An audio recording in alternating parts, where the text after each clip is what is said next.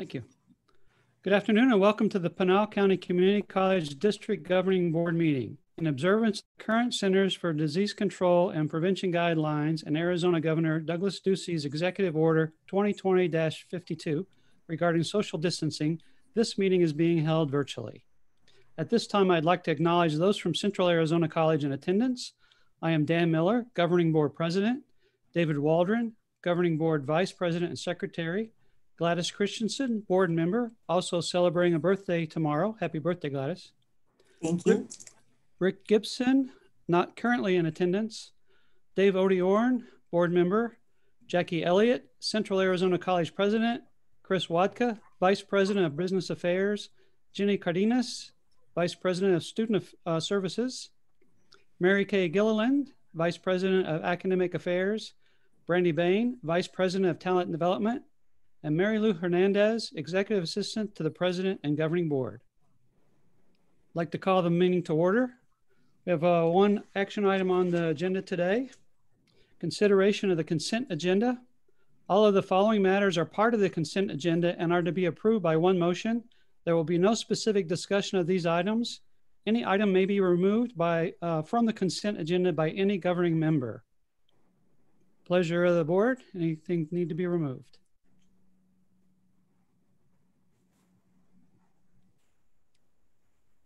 All right. We would make a motion that uh, we accept the consent agenda as written. Uh, I have a motion. Looks like there's just three vo- voting members right now on the meeting. I'll second that.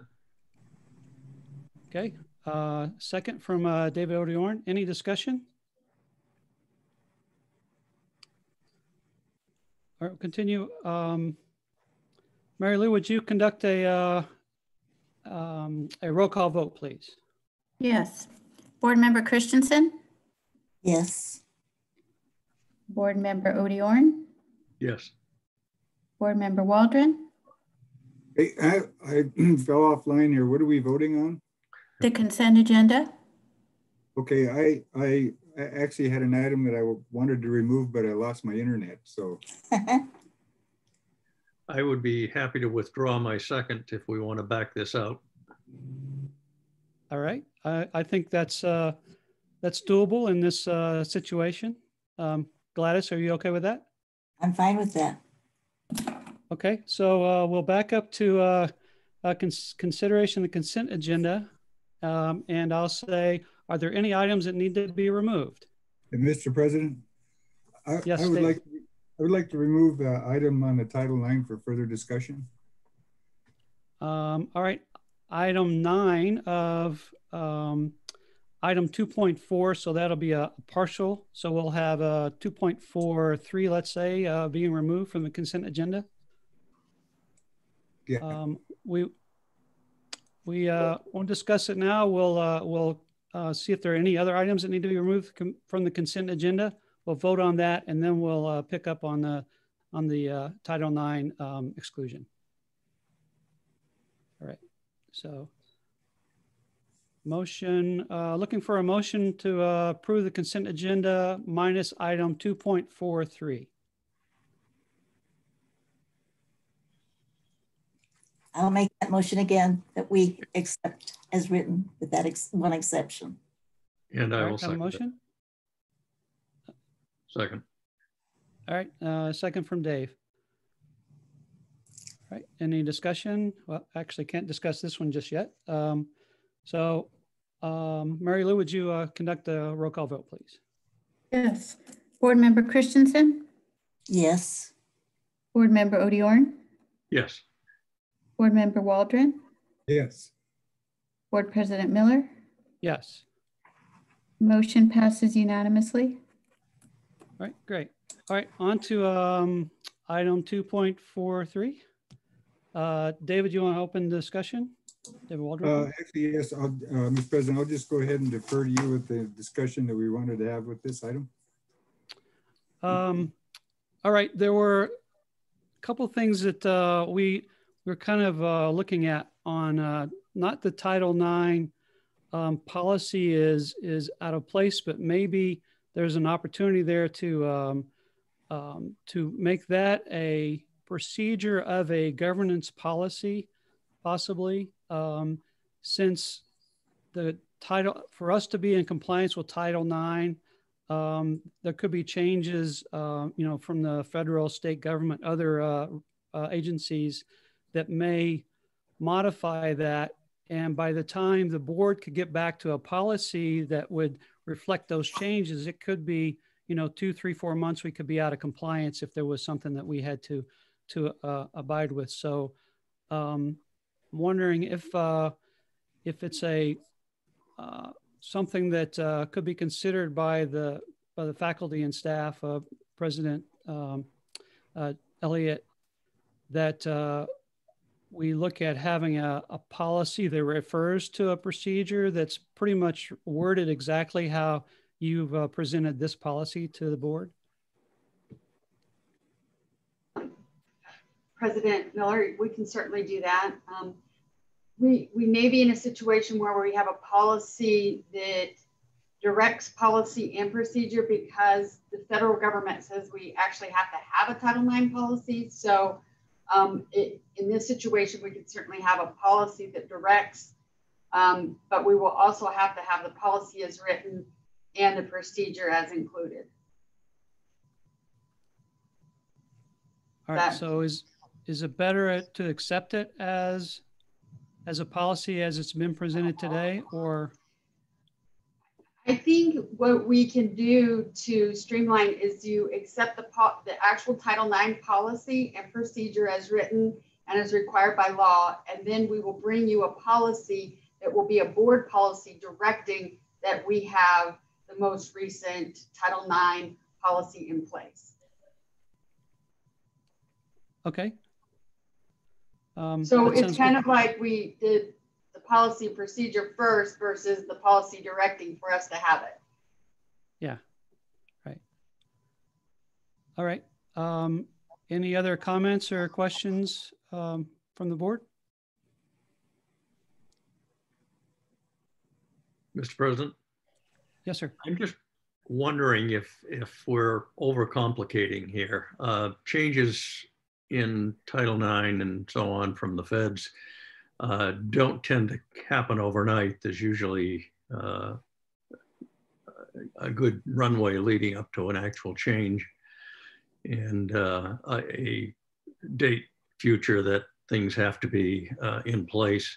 I don't know that we need to worry too much about getting caught up being out of compliance. Um, I'm, I'm assuming this is something we've watched pretty closely. Right. Uh, that's that's true, and uh, I, think you're right. We wouldn't something like that of that magnitude wouldn't sneak up on us. Uh, the other thing is that it, it doesn't entirely um, go in sync with the other governance policies that we have out there because it is directing uh, somewhat of an operational um, um, format to it, where our other policies are, are not. They're delegate to um, to the president, to the staff, and they refer to another procedure to carry out the operational um, commitments. So, was the other thing to think about. Uh, but what I'm hearing from uh, uh, President Elliott is that we we can accept it as is. They'll go back and take a look at it, and if it needs to be um, re uh, uh, re not rewritten, but um, re restacked, reorganized, that uh, they can present that to us at a later time. Correct. All right? Mr. President, Yes, sir. I would move that we adopt the policy as presented. All right, have a motion to adopt the policy as presented, which would be uh, 2.4.3, Title IX. Second, Second by uh, David Waldron. Right. Mary Lou, roll call vote, please. Yes. Board Member Christensen, Yes, Board Member Odie Yes. Board Member Waldron, yes. Board President Miller. Yes. Motion approved unanimously. All right, great. Next item, item three is uh, policies for first reading. Uh, Brandy Bain, please.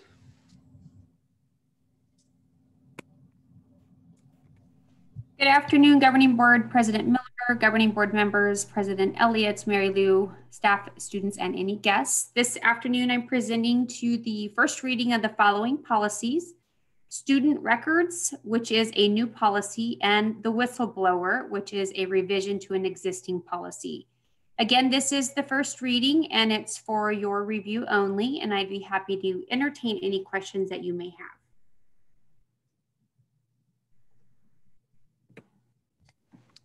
Pleasure of the board.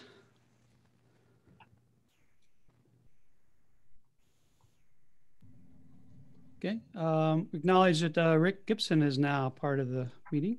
Welcome, Rick. Sorry for my delay. Glad to be here. Quite all right. Okay, uh, the next one, uh, reports, item four, uh, Jackie Elliott, please. Good afternoon, governing board members, President Miller, and faculty, staff, and guests that are joining us here today. As you all recall, early on, we had moved our May graduation to December 11th to perhaps allow for time to safely celebrate our graduates. However, the ongoing uncertainty of the situation of the pandemic, the decision has been made to move the December 11th graduation to a virtual event in order to protect the um, safety and wellness of our students and their families.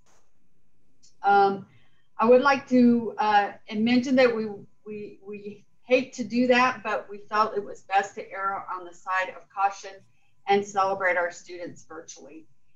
Also, I want to note that academics has done an, an incredible job of bringing over 400 students and faculty to campus each week in a safe manner for the hands-on instruction portion of our students' learning. To date, only one student has reported testing positive for the coronavirus. And in that situation, the student did not contract it while on campus participating in hands-on instruction. All protocols have been followed and notifications made, and we were very fortunate that it was an isolated incident. I, I think it's important to note that the deans, the directors, faculty, and Dr. Gilliland deserve um, incredible credit for ensuring learning occurs in a safe environment. I think we're probably the only college in the state of Arizona, and perhaps even the United States, that can report only one case this fall. Um, right now, the college is operating in what we're calling a phase one of return to campus. Uh, during phase one, that consists of myself, the president, vice president, deans, and directors working at our respective campuses and offices in preparation for phase two so that we are able to check the protocols personally uh, and ensure that we have not uh, missed out on anything um, and so far, phase one is moving along smoothly. We've learned some things that we're able to uh, look at and perhaps implement into phase two. Uh, I have actually had two in-person meetings uh, with face coverings and social distance, distancing. So we've been able to practice that as well in a safe manner. And one last item to note is that the outer walls for the Regional Workforce Training Center are up. I believe I shared with you all a picture and that construction will move to the interior we anticipate in the next few weeks.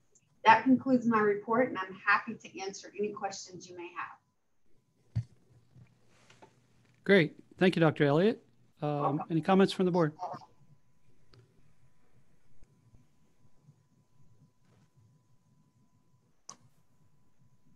Mr. President?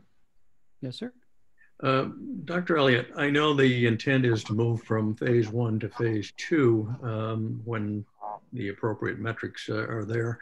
Um, but given how things are going across the country right now, is is there a backup plan to move back out of phase one if if things go badly? Correct. Um, we are following the Arizona Department of Health Services benchmark dashboard and initially, um, I had thought that we would go into phase one in November or phase two in November. We've already made the decision that that won't happen because the numbers are starting to trend back upwards. If if we fall out of compliance with one or two of the benchmarks, we will back off of phase one. Um, and why why we've taken it slowly is phase one is is virtually a handful of people. Um, the vice presidents, myself, the deans, and not everybody. And I think it's important to note not everyone in phase one is on their respective campus every day, all day, each week.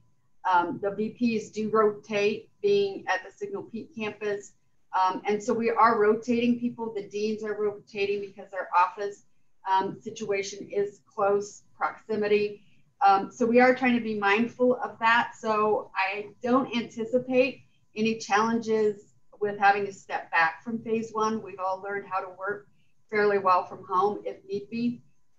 Um, so I hope that answers your question, but we have had those discussions and what it would look like would just be uh, probably, I'm going to say less than 10 people are involved in phase one right now. Thank you.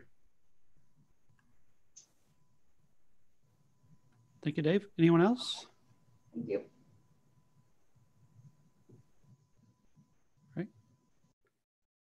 Um, Mr. Gibson, Mr. President, uh, members of the board, uh, Dr. Elliott, um, I'm amazed that we've only had one incident of disease that has been reported or manifested. Uh, to what kinds of uh, protocols or uh, how do, what do we attribute that to?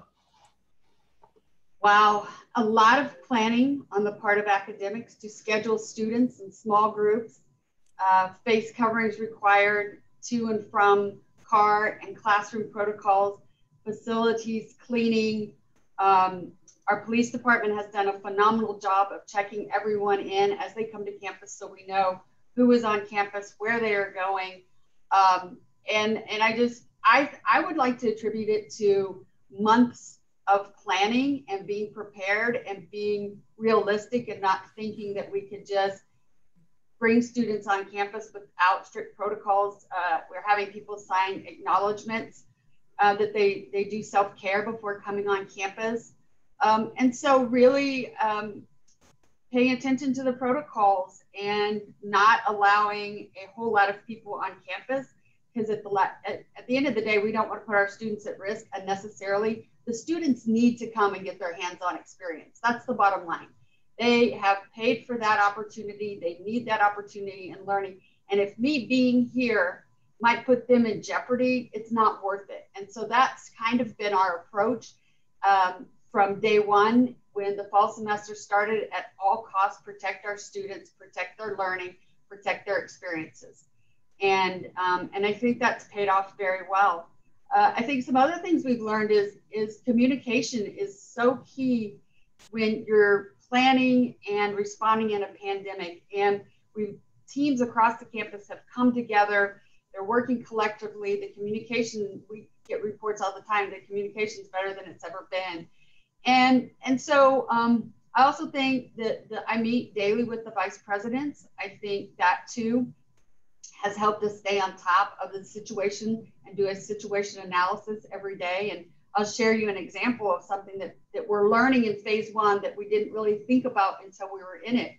Um, I was on campus yesterday and working in my office and kind of I wasn't feeling very well and I thought, okay, I need to go home because we've we've harped that if you're not feeling well, go home.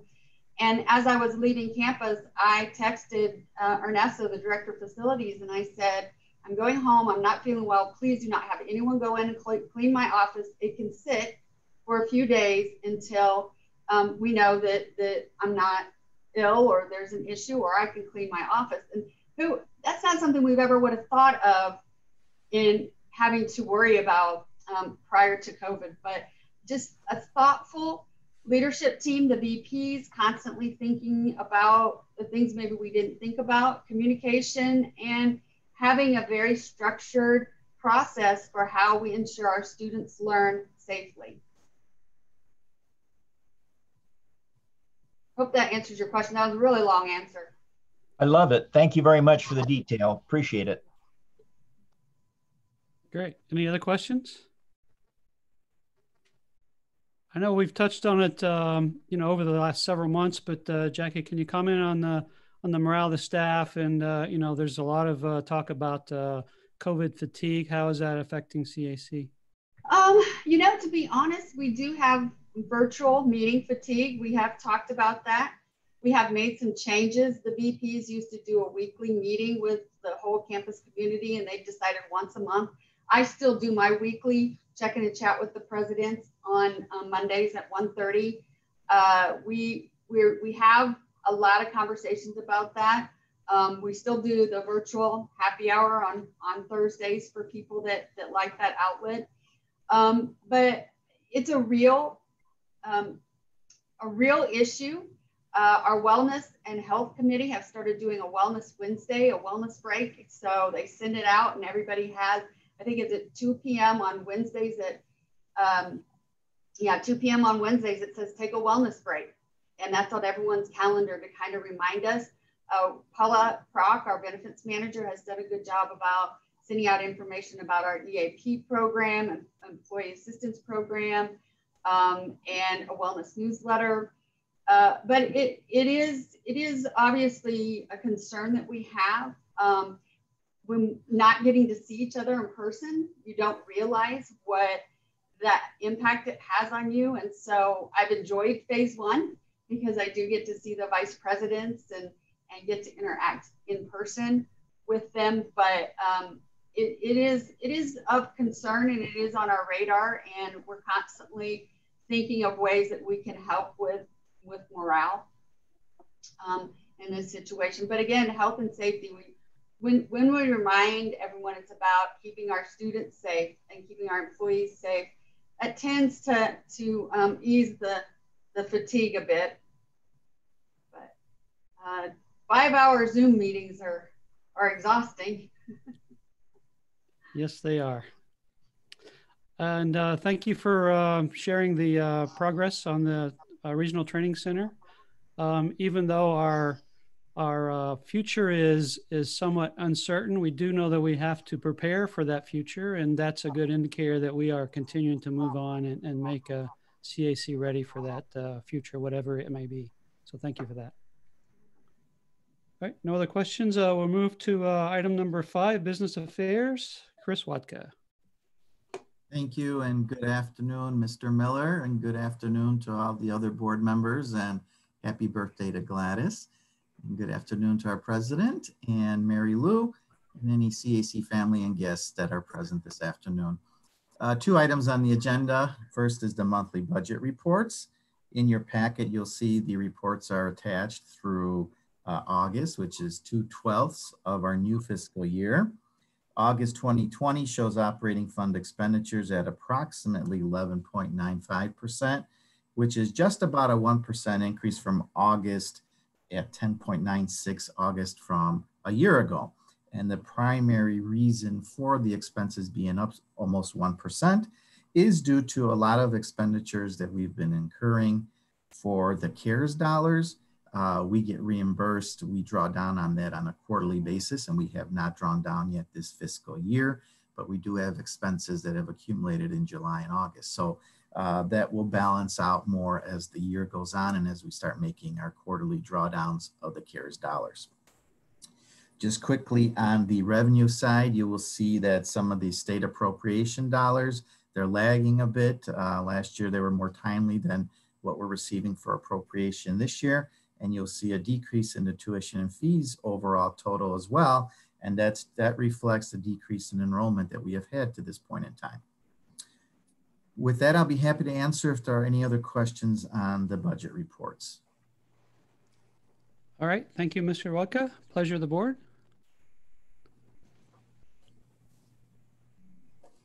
Any questions?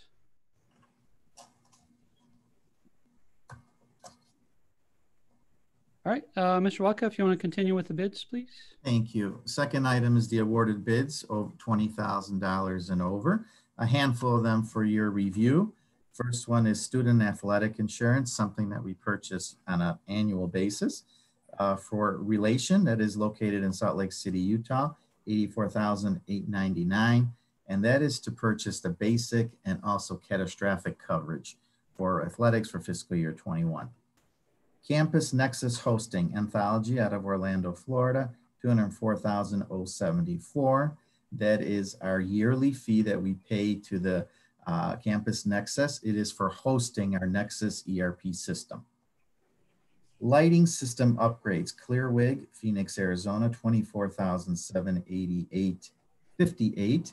That is to purchase an upgrade to the lighting system in the Penn Center. Um, it is also for upgrades for the entertainment industry tech program, which is paid for from the Perkins grant. Next one, augmented ARC reality ed package, Praxair, Dallas, Texas, 24,584.13. That is to purchase the augmented ARC reality package. And what that is, is all for the welding department. So that is welding terminology that's used. And that is also from funds from our Perkins grant. Usage contact center, tall desk, or talk desk, I'm sorry, Pasadena, California, 30,800. It is to create an open purchase order for usage for fiscal year 21 for our contact center. Next one is a child care stipend, Easter Seals from Tucson, Arizona, 44,460. That is to create an open purchase order for the Early Childhood Center uh, stipends for fiscal year 21 that is paid through the Easter Blakes. Uh, it's a grant that pays the students um, that are Pell recipients their tuition subsidy. Janitorial supplies from Waxie, Mesa, Arizona, 27,500. That is an open purchase order for uh, janitorial supplies for fiscal year 21. And electronic maintenance supplies, electrical supply, Phoenix, Arizona, 27,500. That is also to open a purchase order for supplies for electrical maintenance needs for fiscal year 21. With that, I'd be happy to answer any questions on our bids. All right, great. Thank you, Chris. Any Thank you. questions for Mr. Watka? Uh, the augmented reality one, Chris, comes to uh, front and center for me. Is that um, is that simulated welding training? Is that what that's about, or do you know? to be honest, I, I'm not sure what that is in the welding department. Um,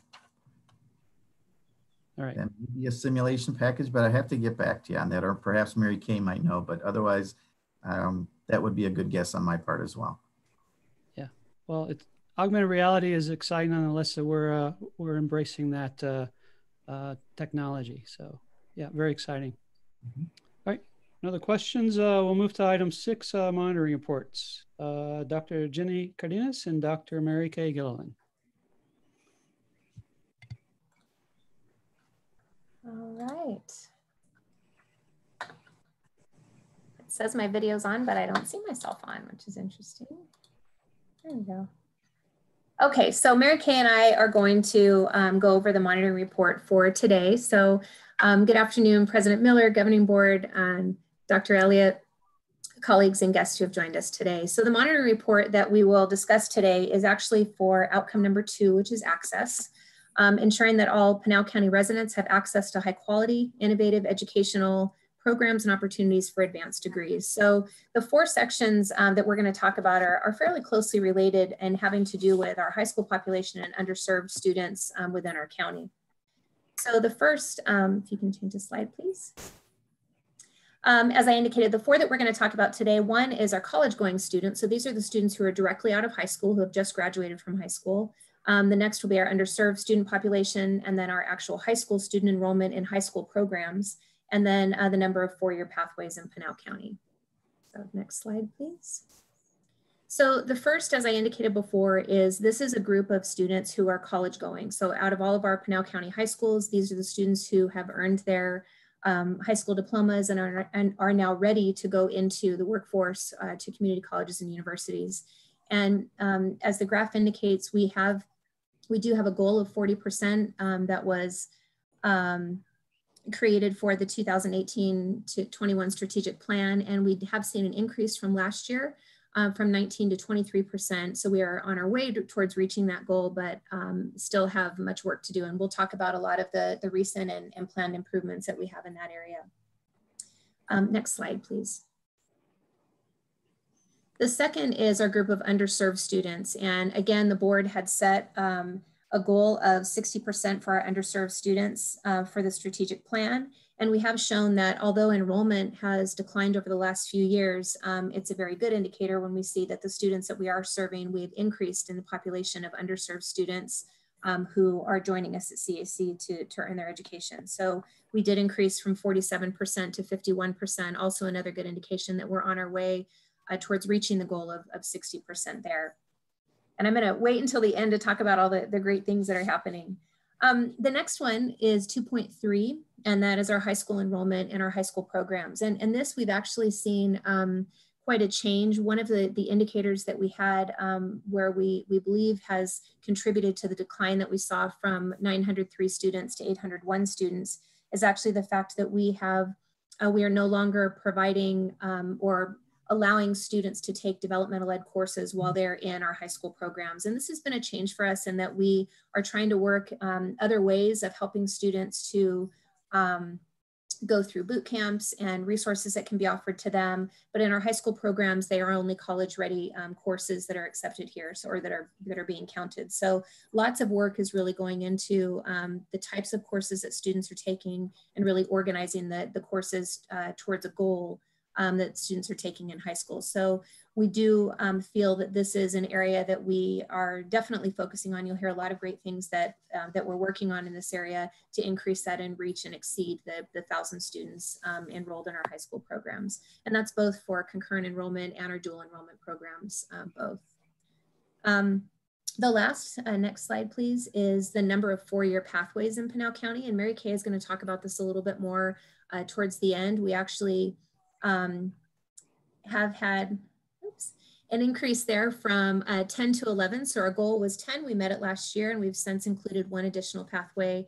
Um, and again, Mary, Mary Kay will address that. So we've definitely had some, some great progress in the area of pathway uh, to four-year um, institutions. So overall, um, we've had lots of conversations in the in the last couple years, and definitely in the last year, we've We've seen lots of changes, um, you know, as Dr. Elliott spoke about uh, the changes due to COVID-19 and having to switch to a virtual environment and provide services in a virtual environment. So on top of, of making those types of changes and meeting students where they are, um, we also were still continuing with innovating and, and trying um, to really streamline a lot, a lot of our processes. So the first, um, if you recall last year um, and even the year before, we had talked about CAC Connect programs where we have recruiters and advisors and financial aid staff that are able to work with students um, in the high schools. We've still continued with that and we'll continue to increase those services. We've now just shifted to a virtual environment. So again, meeting students in the way that, that they can meet us. Um, also shifting to virtual opportunities when it comes to orientations and tours and um, Vaquero rallies and parent meetings and ways to, um, to interact with students and their parents, um, as well as the high school, high school staff. Um, I know that we've talked a little bit before about the chat options, but one additional chat option that we've had, um, we've in the past had our Vaquero chat. So Vaquero Pete, you could go on during certain time periods and type in questions and one of our um, amazing staff who, who staff that area would respond back and answer the question. Um, we've increased that now to have a secondary component to the chat, which is an artificial intelligence component so that students can get answers to their questions 24 seven. Um, the exciting thing with this is it's a system that learns from the questions that are asked. So we've put in tons of different information uh, regarding five key areas. So financial aid, enrollment, advising, um, registration, admissions, and student accounts. I know that was six, but combine two of those. Um, and we, so we've put in lots of information about those. And as students ask questions, we're able to say, hey, you know, we're hearing a lot of students are asking this question. We really need to kind of tweak the answer, make sure that uh, the information is front and center on the website, that it's easy to find, things like that. Um, we've also found that there are many other areas that we think would benefit from this, and it had such an amazing start um, that we are now going to expand it to many other areas uh, throughout the, the district as well. Students are, it's been very well received and students are able to get information at the time that they want. So if they log in at two in the morning and ask a question, um, they're likely to get an answer and, and be able to move forward with the process they're working on. Um, we have ensured that Guided Pathways mapping has continued. Um, so much has, has happened in the gut with the Guided Pathways project. And one of the things that specifically connects to this is the fact that about a year ago, we had a group that was charged with developing um, a high school pathway which really is not a separate program, not a separate degree, but it's a way for high schoolers to see if they start our programs this summer after their sophomore year, as we um, suggest that they do, and take specific numbers of courses and types of courses, that they can actually earn their AGEC at high school graduation or just um, right, actually for most of them, right before they graduate from high school. So it really gives our high school students a path to take opposed to just a course that they might take.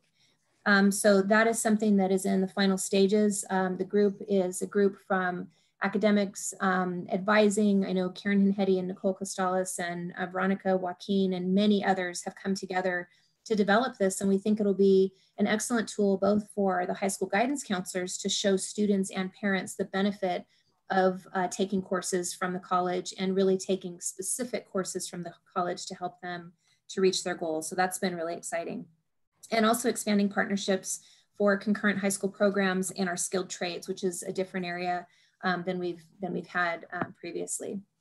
Um, some of the planned things that are coming up, we have really decided that based on um, our focus on developing high school programs, it's really important for us, us to have one person who has an overarching um, vision for high school programs. Um, it's been something that has been added on to many people's you know, job descriptions and responsibilities in the past, and we do feel that it, it needs to have one um, central focus to look at all of our high school programs. So we're, we're looking at um, shifting a position to, uh, to possibly be able to, to focus on that. Um, as we talked about the development of the pathway, um, looking at dual enrollment processes and streamlining processes, both for how we hire our faculty and also how um, the courses are created as well as how the students register for those courses. So just really lots of lots of great things um, dealing with our high school students and really focusing on the help that we can provide to them. So it's that's an exciting area. We've done lots of work in the last year there. So, and Mary Kay, I know that I talked a lot, I apologize. And now on to you with our pathways um, discussion to universities. Good afternoon, President Miller, members of the board, Dr. Elliott. Um, just continuing, I actually don't have a great deal to add. Uh, thank you, Jenny. You did a great job of all of that. Um, the uh, number of four-year pathways in Pinal County uh, is something that we really started looking at. Uh, well, I think it was um, actually three years ago. It was the uh, in December at a board retreat. Um, the board decided that they were interested in measuring uh, the number of pathways that students could take to actually complete that bachelor's degree and remain in Pinal County. And at the time, we knew of very of two uh, very um, solid pathways, uh, but we were at that time in the process of negotiating um, uh, several new pathways, including our concurrent um, associate degree in nursing and bachelor's uh, degrees in nursing programs with both NAU and ASU. And, you know, since that time, we've actually been able to establish quite a few very solid uh, programs, not just our typical transfer pathways, but uh, programs where students can transfer specifically into a degree program, uh, complete everything online uh, and in Pinal County and not have to go somewhere else. So um, these have grown. Uh, we immediately met that uh, um, that goal of 10 and we are now up to 11 and um, i will have to say that i'm aware of several more that we're negotiating at the moment um, that will accept um, our uh, specifically and um, where students will be able to finish that four-year degree. And I'm also very proud to say that in most of these cases, we're able to make those um, transfers into that four-year program without a lot, without degree, uh, without credit loss. And so that goes back to the guided pathways and all of the hard work we've been doing to try to streamline our programs and make sure that every credit counts, which is, I think, as important as anything else that we're doing right now uh, to assist our students in moving forward um, in a positive way. Um, so one more to add to the um, to the pathways right now, and interestingly, we now have a direct uh, uh, ability to complete an electrical engineering degree by staying in Pinal County, and that is with ASU, and that four-year program is online, which is uh, really amazing. Um, we do a lot of the hands-on work here at uh, Central Arizona College, so that they're getting that as a, a very solid foundation. Uh, but the programs along perfectly and students can actually finish that program in four years, though with engineering it's more typically five. Uh, so that's our new program. We have several more on the horizon and I'm looking forward to being able to report about more um, next year. Um, and just as an aside, I think uh, one of the odd outcomes of um, the situation we're in now with the pandemic is that so many more programs than ever existed before are going online and discovering that they can do so successfully. So in fact, we might actually have an explosion of these pathways that are available to us. um, we're, we're, kind of expecting that things are really going to be looking quite different as we come out of the other end of this. So um, I think Dr. Elliott reminds us that about a lot. But I, as I was looking at this, I thought, you know, we're we're going to be well beyond this number uh, in just a year's time as we document those relationships. So um, I will stop there and leave it uh, for any questions that you have for either Dr. Cardenas or me. All right, great. Thank you. Uh, excellent presentation. Any questions from the board? Actually, may I add one more thing? And this is just going back to uh, Chris Watka's presentation. That was a welding simulator that uh, we were looking at that was in that um, in that purchase. It's it's pretty high tech equipment and it's um, allowing students to do more of their welding preparation through simulation and then, you know, of course, some purely hands-on as well. So just wanted to add that. I think that's great. Uh, might have to uh, have to go in and um, just validate it myself. I don't know. but it's pretty exciting. Yeah. Um, no, uh, no welding uh, arc, no hazards to odors and, and fumes and stuff like that. I think it's great. They can get a lot of hours out of that. Uh, Rick Gibson, I saw your hand up. Yes, thank you, Mr. President. Um, I did have a question about the four-year pathways in Pinal County. Uh, are we far enough along in the development of these programs to estimate, maybe not measure, but estimate the overall um, impact to the people of Pinal County? How, how does the increase in the number of these four-year pathways benefit the people of Pinal County? Um, I'll jump in and answer that real quickly, and then if Mary Kay or others want to share, I think that's a, a wonderful question. Uh, one of the things that we have learned, um, Mr. Gibson, is that our students, many of our students don't want to leave Pinal County.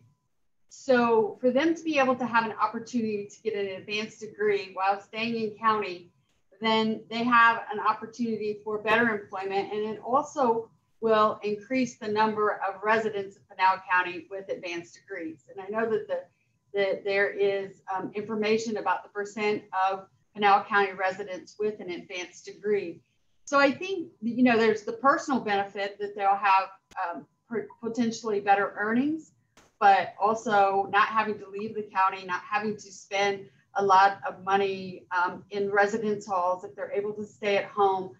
We know a lot of our students are first generation low income students. So for them to be able to have an opportunity to gain an advanced degree uh, and increase their earning potentials without the cost of having to go out of Pinal County, uh, I think that that's an immeasurable personal benefit.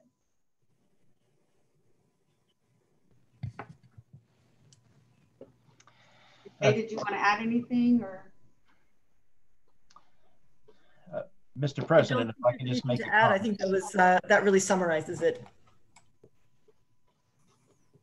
Thank you, Mary Kay. Go ahead, Rick. Uh, so if, if I'm understanding correctly, the, the benefit to the people of Pinal County is, is that we have highly trained individuals in a, a number of different areas of responsibility, at this time 11, that are bringing their talents um, homegrown, if, if you would, to the people who live here without people here having to, you know, go either go someplace else or there be a scarcity of providers, whatever the resources might be. So the, the people of Pinal County can actually look to these and say, these are programs are developing people and capacity for us to receive some kind of a benefit and it's all homegrown. A am I understanding correctly? Correct. I mean, we're keeping the talent in Pinal County and we're growing the talent, providing them opportunities to to um, what we want to avoid is what, what happens is the leakage out of Pinal County uh, because a stronger Pinal County and economy is better for everyone. But you you said it very well. Thank you very much. I would add to that as well that another benefit to our students is if we're able to show our students, especially in, in this realm of what we're talking about today with our high school students, if we're able to show them the connection between CAC and then transferring to a university um, and help them to make that transition. The other thing that we'll see is a reduced amount of student debt. So, you know, by showing our students that they can begin their education here, have a quality education where they're not losing credits prior to transferring to the university and able to complete their degree at, at a university with potentially two years or, or less in some cases, um, that's also a huge benefit in, in that students are not coming out on the other end with a, as large of a number of, of student debt. So, student debt. And to that point, I think it's our industrial management program or construction management. Actually, students can complete, uh, what is it, 90 hours with us and 30 with NAU. Talk about the financial savings for a student. Was that right, uh, Mary Kate, a 90 30? Yes, that's correct. It's a great program. So 90 hours at the CAC tuition rate and only 30 hours at the NAU. If I can add that program in particular, but quite a few of the programs are actually encouraging some of our students to continue to the four-year degree as well. Some who may have decided to stop with the associates and are seeing that there's a benefit to that. First of all, they're finding they're successful uh, when they come to us and they're able to learn in the small classroom setting and you know get very excited about their education. Um, and that seems to be also a huge motivator for a lot of people. But then being able to move on and and continue uh, without having to leave a, a huge benefit. So uh, and, and in a roundabout way, although the tuition is being paid at least uh, for you know some of those upper division courses to other institutions, we're keeping more tax dollars here in Pinal County just simply by being keeping people put to. So just just a small financial benefit there as well for the community.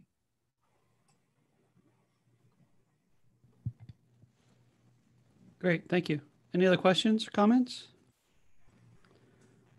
I think we do see uh, Pinal County continuing to grow, and uh, they're going to be relying on us more heavily to uh, to educate the the workforce and uh, keep them keep them current in the latest technology like augmented reality. So I think that's those are those are good uh, important items to uh, keep up with.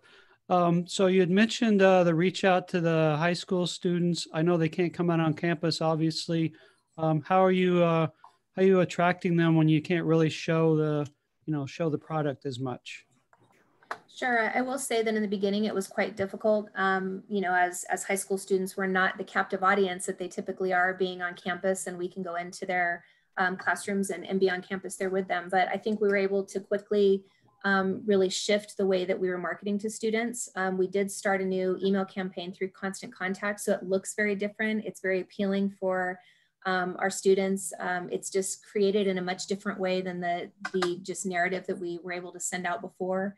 Um, in addition, we've really increased our marketing through social media and been able to reach those students. And I think what students have found is that, um, and to no fault, you know, to K-12, but I think, you know, CAC is in a much better position to be able to offer a virtual classroom and classroom, synchronous, synchronous um, learning, learning, and all of those different things.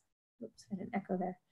Um, in a in a very in a wonderful format. And i think we've we've had many students who started to take classes and have realized wow this really I, am really able to successfully um, take these courses and finish them where some of them weren't having the same type of um, interaction um, in their high schools. And again i think we were just positioned differently to have offered online um, learning and virtual learning um, in the past. But i think our high school students have have really done well. I don't believe that we've had much of a decrease um, in that population of students, I think in, in um, anecdotally, what we've seen is we've had more students who are interested in taking courses because of the ease of doing so uh, with CAC. And I attribute that to our technology and to our faculty and, and the work that they've done in, in the classroom. So.